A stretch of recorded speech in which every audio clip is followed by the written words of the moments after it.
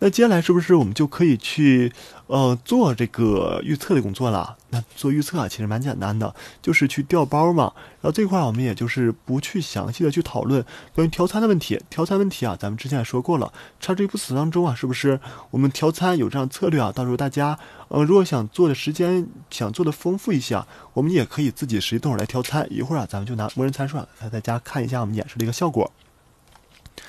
然后这块啊，就是我导入了一个绘图函数。这个绘图函数当中啊，就是我要画那个混淆矩阵嘛。这个，咱之前也说过，这是相当于什么？这相当于就是一个模板了。基于这个模板，我们去画啊，咱们的一个图。然后这块啊，就是先先当相当于是先去呃，在我构造的时候啊，就是这个画图函数，咱们就不一个看了，都是一个模板。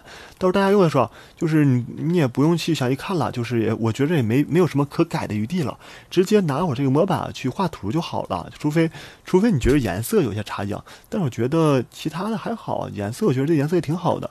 你要换个颜色也行啊，到时候这这个之后咱们再说。然后测试集是不是也一样的构造方法？训练集和测试集啊，它的构造方法都一样的。但是咱们刚才在看这个数据的时候啊，是不是看到了我那个测试集相当于什么？因为这是一个竞赛题嘛，所以说在这个测试集当中啊，它就没有标签儿，没有标签儿。在做在咱们做的案例的时候，我们就对我们来说没用的，我们也不实际参加竞赛，所以这步啊，咱也可以省啊。咱们构造这个测试集来说，暂时对我们来说啊是没有用的。然后呢，我检查一下我的一个数据啊，同样方法检查数据啊，它是有没有什么问题的啊？这个也没什么问题，咱也不说了。然后呢，接下来就是我要构建一个基础的预测模型吧。比如说，我想构造啊，这个就简单了，这就是老生常谈的东西了，大家应该都比较熟悉了吧？然后这块就是我们一般情况下，比如说我预测一个年龄，怎么就是预测性别吧，简单吧，经典二分类先逻辑回归去上嘛。所以说这一块啊，就是我把这个唯一可能多了一点，导进来一个混淆矩阵，还导进了一个数据集的切分啊，切分成了我的四大块嘛，训练集、测试集，然后构造一个矩阵。构矩阵完之后，然后咱们来看这个东西啊。这个东西，这个东西什么意思啊？这个东西就是我们刚才给大家说的那个模板。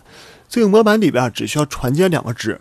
sklearn 当中啊，就是我们要去进行建模的时候，首先我有一个带测试的一个标签儿吧，就是带测试的一个，就是我测试的结果和我测试的一个相当于什么？就是测试你最终预测的结果和真实的结果啊，就是这样，真实值和标签值。你只需要把你当前模型的一个测试结果，这个真实值，你看真实值什么？就是你的一个原始的一个标签啊，y_test，y_predict 呢，就是你的一个预测值嘛。你只需要把这两个值啊传进来就可以了。在这两个值当中啊，我们接下来就可以看一下，对于这两个值，然后我们就可以画图。下面都是模板，这个大家都不用去改啊，就是画这样一个混淆矩阵。然后咱来看一下我的一个结果吧。这个因为这个只是给大家举这样的一个小的一个 demo 例子啊，所以说很多参数啊都没有详细去调，因为在其他案例当中啊，咱们是不是已经都调这个东西了啊？这个就不给大家一个去说了。然后呢，咱们来看，就是对于当前的一个结果画这样一个图，这个图啊就是我模板的一个图，你看说的是性别的一个混淆矩阵嘛？混淆矩阵咱们该怎么看啊？是不是说精度怎么看？精度是对角线九六七加五九幺除上四个方块的一个值啊。这是对应我与我的一个精度，然后呢，除了精度还有什么？还有 recall 吧？你想检测什么？你看一下它预没预测对，就是你关注男性，就是比如说检测到多少男性，我关注男性；检测到多少女性，关注女性吧。相当于查权率、召回率这个东西，recall 值啊，就是看你不同的针对的点，我们也可以自己去算。那这里啊，就是我们得到了当前的一个精度啊，接近百分之八十，看起来还可以啊，就是得到的当前效果差不多百分之八十。比蒙要好一些是吧？因为这个东西案例啊，它就是基于历史数据去预测情况下，不能不可能说是特别准的，但是大概啊可能打上这样一个标签儿。但是我们还有很多细节啊都没有去调，到时候大家也都可以来完善一下，因为这个细节相当于是我们的一个调参嘛。调参过程当中，如果说你用的是一个十万的数据，那我们就可以想来较较真儿，看一下最终拿到多少。用十万数据，然后呢再把数据稍微进行清洗，停用词你可以考虑加进来，还有这个 TF-IDF 啊。而 DA 啊，它的一些特征啊都加进来，然后呢，再把参数调一调，这样我们的一个结果应该会更好一些的。然后啊，这个就是我们基本的一个逻回呃基本的逻辑回归模型。一般情况下，我们都是逻辑回归啊，先试一下，看一下当前的一个结果，看当前结果怎么样，感觉还凑合是吧？然后接下来要干什么了？接下来我用逻辑回归，看起来是不是比较局限啊？用随机森林吧。随机森林啊，我也没指定啥参数啊，指定一个最大的深度，指定一个 missing split。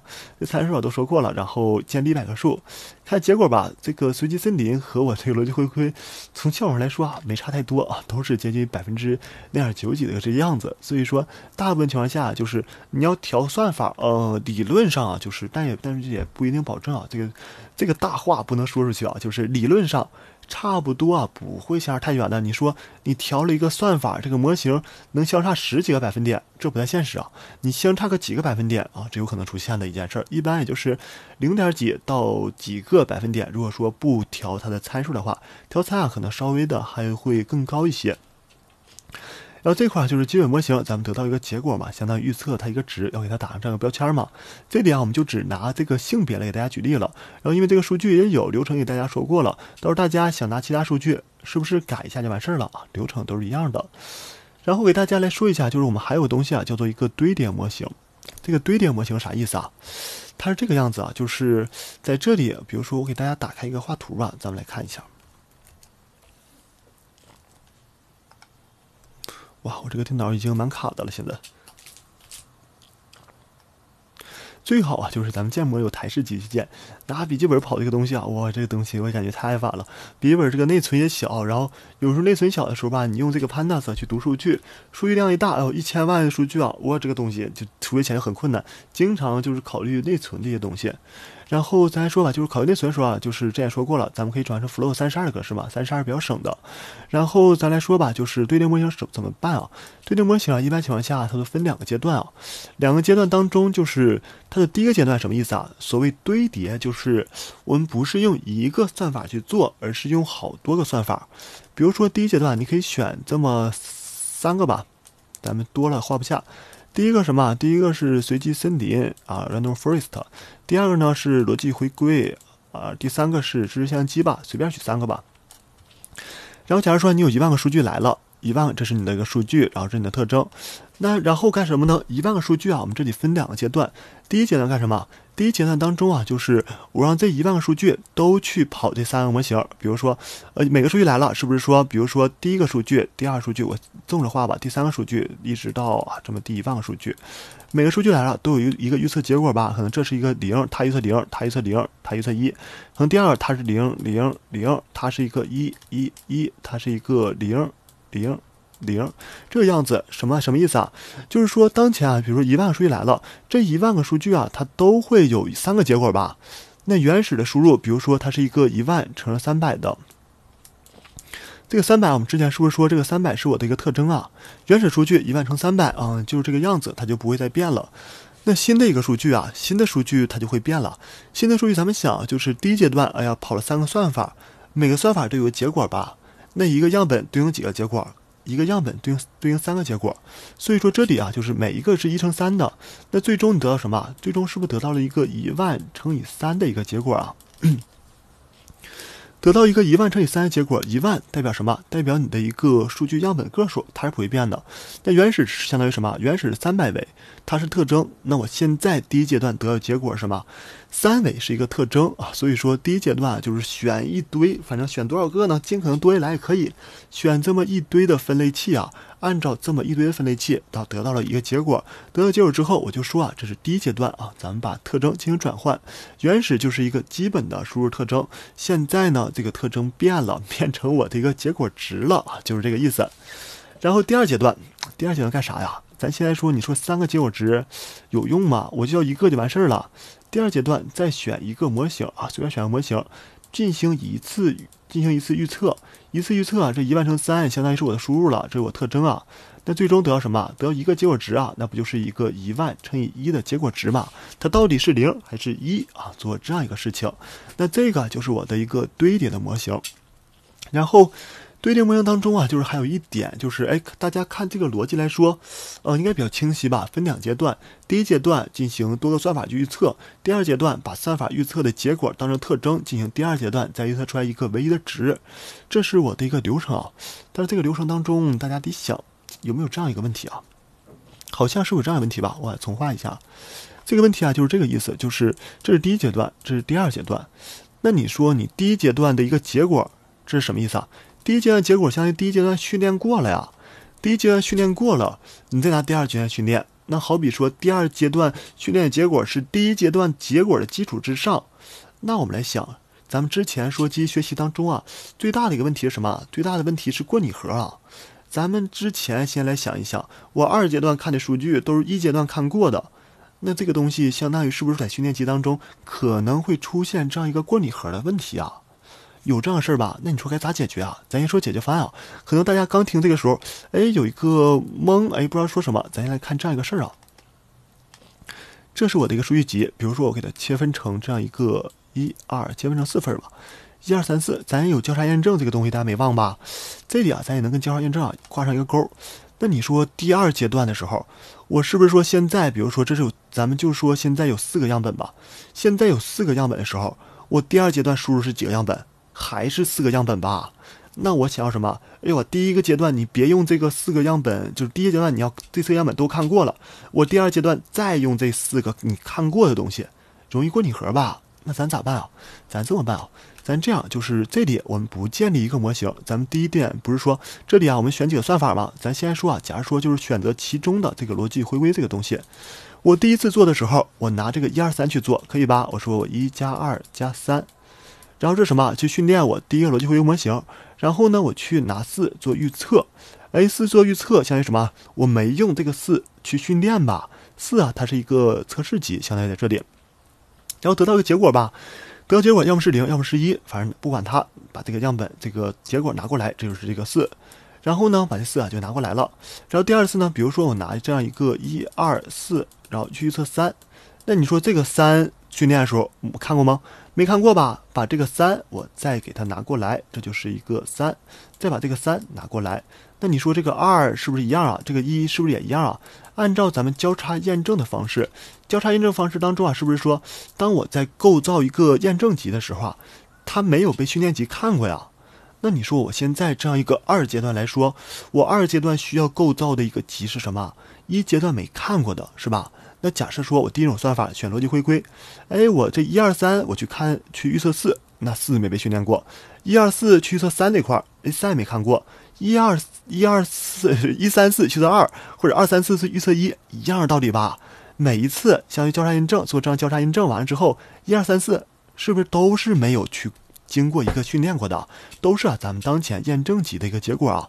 这样就能够降低你的一个过拟合的风险啊，所以说啊，在这里啊，我们就对比了一下，我们可以怎么去做呢？我们可以这样去做，按照交叉验证的方式啊，去构造我二阶段的一个输入，这是对其中的某一个算法，第一个算法怎么去做，第二算法、第三个算法都是这么去做吧。做完之后，这是第一列结果值，这是第二列结果值啊，就是得到这样一个结果值嘛。所以说啊，现在啊，我们在做一个就是堆叠模型的时候啊，普遍情况下啊，我们都是。基于什么？都是基于这样一种方式啊去做的。其实啊，你看我的训练集当中啊，就是比如说我对于某一个模型来说，对于这个模型一来说呀，就是反正选择中了一个模型，它需要干什么？你看它是分了五份，它分成五份的时候，你说它构造这个训练集怎么构造的？这个图一看清晰了吧？你看第一次，哎，我拿它去做测试，拿测试结果当成我下一阶段的一个什么？拿成拿它测试结果当我下一阶段的一个输入吧。你看这个预测的，哎，这是之前没被训练的吧？这预测的之前没被训练吧？这预测的，这预测的，这预测的，之前是都没有训练过的吧？所以说啊，堆叠模型当中啊，有这样一个要求，就是你二阶段的一个输入，一阶段你不应该以前给我看过，这就是有这样一个前提。那你说对这模型，比如说什么意思呢？先有模型一到模型五，相当于五个算法吧。逻辑回归、知识相机、Random Forest、神经网络啊，乱七八糟一堆算法都来了。在用这一堆算法的时候啊，你看就是很明显流程吧。最终形成什么？形成了一个新的训练集嘛。形成训练训练集当中啊，拿这个新的训练集进行一次训练，然后再去预测我们的结果，这就完事儿了。也就是说啊，我们整个流程是分两个阶段。第一阶段是给第二阶段提供好它的一个特征的，第二阶段呢用一阶段它不同算法预测结果当做的特征来去最终进行一个预测，就是这样一个事儿。那你说在这个流程当中啊，啊这块儿就是我们做一件什么事儿啊？类似于交叉验证去构造我们的一个训练集吧，啊，它就是在堆叠模型当中啊就做了这样一件事儿啊，也也不难，其实原理还是比较简单的。然后这块儿我们也来试一下吧，就按照刚才的的想法去试一下呗。选了三个，选了三个这样分类器啊，因为这个做的比较简单啊，就是直接也没有去调参数，直接把这个三个分类器拿来了。三个分类器拿来之后啊，就是先把这三个分类器模型啊，先都实际化出来。实际化出来之后啊，然后你要干什么？然后的话就是啊，这个东西这块儿这个我不需要。然后接下来是不是说你要分别构造模型啊？怎么构造啊？按照上面的方式去构造呗，类似于交叉验证是吧？所以说啊，你看我在这块儿，咱这个东西以前在哪用啊？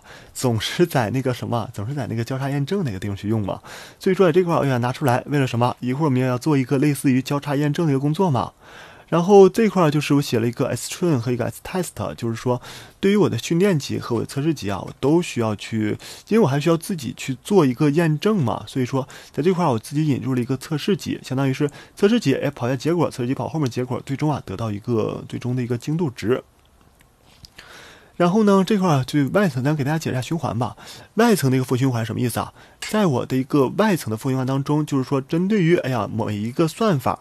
咱们刚才是不是说引入三个算法？逻辑回归、知识相机，然后还有逻辑回归、知识相机，还有什么来着？啊，random forest，啊啊，就是还有随机森林，用这个三个算法。所以说，最外层循环啊，就相当于是，呃，我针对这三个算法，然后分别建立一个模型。然后呢，里层负循环啥意思啊？里层负循环啊，你是不是说，你看，对于模型一和这个模型五来说吧，每一个每一个模型啊，都要去做交叉验证吧？那你说你做几折呢？你做一个五折的，是不是要写五次循环啊？得五个结果啊？就这个意思吧。所以说，你看里层负循环，for j 第几次吧？还有 train index，还有 test index，这什么意思啊？每一次啊，咱做交叉验证，选四份做训练，另一份做测试吧，这个意思啊。所以说啊，你看这个负循环相当于什么意思啊？咱们要做交叉验证，拿到我的一个数据了啊，在这块儿就是做这样一个事儿。你看，在这块儿就是 x train 和 y train 等于什么？用我的 train index 给它拿到手吧。那你说这个，然后去去去训练一下我的数据集。那你说你预测结果什么？预测结果就是你的一个 test index，然后去预测不就完事儿了吗？你看 test index 把数据拿出来，把数据传到我的预测当中，得到了预测值，这一会儿就是我们下一轮的一个数据嘛？啊，它就是这个意思啊。再把数据组合在一起，这不就完事儿了吗？组合在一起，那最终我还有当前的一个预测结果啊，这我都给它拿出来。那最后啊，是不是说我再选一个分类器啊？最后就是这里这个两个复循环完之后什么意思啊？相当于你训练完了第一阶段了，第一阶段完之后，我去有了一个数据 s train，就是我这个第一阶段和的一个输出吧，做模型都堆在一起了。s train 是我第一阶段输出啊，有了我第一阶段输出之后，再构造一个分类器，是不是就预测一个值，这就完事儿了啊？这就是我怎我去做了一件什么事儿啊？然后得到的结果，得这个结果，因为我没有详细去调，结果没有调参情况下，呃，一般是吧？零点七九六比原来高了零点一，是吧？所以说当前啊，就给大家主要给大家来解释一下这个堆叠模型该怎么去用，因为在经验当中我也看过，就是堆叠模型啊用的还蛮多的，基本上都能够提高几个百分点。这个是有个前提的，就是你每一个模型啊，你都需要把参数给调好，而且呢，堆叠模型一般啊就是多一些，三个看起来太少了，尽量啊就是五个、八个、十个都可以往上去堆。那这个就给大家演示一下啊，我们的一个堆叠模型啊是怎么去做的。这一张图啊，大家可以很清晰的就看到了我们怎么样完成这样一个堆叠的。完成这样堆叠之后啊，我们最终预测出来一个值吧。预测出来一个值，相当于啊，我就知道了当前这个人啊，他的一个标签应该是什么吧。比如说，在他的一个性别当中啊，他是一个男的还是一个女的？这就是我们做了非常简单的一个最基本的一个用户的画像，去判别啊他的一些静态的一些属性，相当于是年龄啊、性别啊、他的一些学历，然后根据于啊他的一个历史行为的一个数据。反正这个数据啊，大家也有，然后。到时候啊，大家都也都可以看一下，怎么样能不能把这个模型啊进行一个提升，或者说，我刚才不是说用 Word to Vector 去做的吗？我们能不能加特征啊？其实也是可以的，我们可以把更多特征啊都给它加进来。那这个就是我们的一个小 demo 啊，给大家说了一下用户画像这个事儿，以及呢这个事儿啊，咱们该怎么去做？基本上我们都是用机器学习的方法去啊，去自动的一系列的预测出来这样一系列标签啊，普遍都是基为啊这样一系列的行为数据的。